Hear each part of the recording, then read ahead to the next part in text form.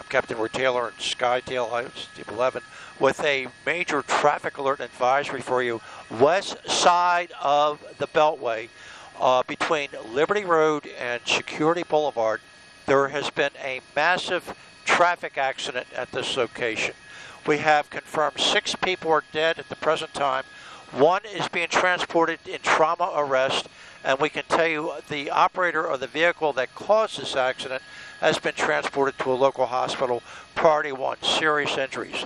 From what we understand and from what we can see, the vehicle was going northbound, that would be the inner loop of the Beltway, approaching a work zone. As it came up to the work zone, there is a cut through that the car could ended up going through, and multiple uh, pedestrians that were working in the work zone were struck.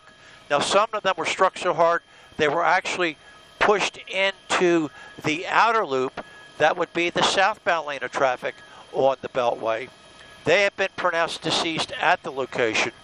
There's numerous workers that were in the actual work zone that the car ended up striking. The car ended up going upside down, and the operator of the vehicle had to be rescued.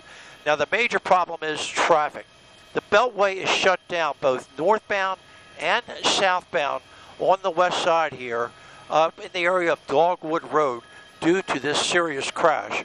State Police crash team is responding, but there are a lot of people that are trapped because of where the accident is. There's no easy way for them to get off. We're asking people to detour traffic if you're coming southbound. Either get off at Liberty Road or get off on Reisterstown Road and circumnavigate it that way. If you're coming northbound, people are starting to get off on I-70 to circumnavigate it that way. We expect this area to be shut down for quite some time because they have to do accident reconstruction. We're still going to monitor the situation as we can as we get more information.